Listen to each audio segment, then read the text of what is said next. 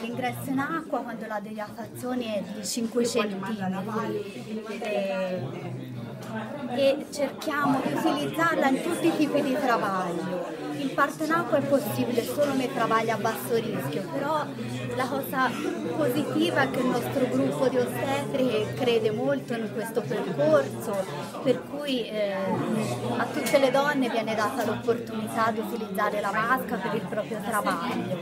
Eh, I benefici sono molteplici perché intanto l'effetto antalgico eh, sicuramente e poi la donna che si immerge in acqua calda ha un rilassamento veloce e profondo per cui si assiste a dilatazioni più rapide e si ha un'incidenza maggiore di parti con genitali integri.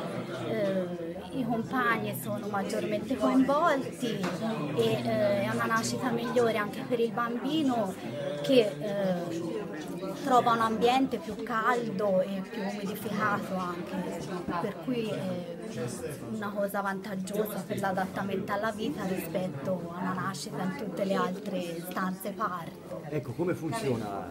Parli un po' delle caratteristiche.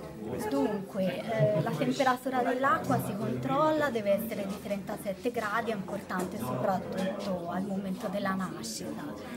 Eh, il bambino mh, mm, viene preso poi dalla mamma o dall'ostetrica, portato in superficie, eh, starnutisce inizia a piangere immediatamente.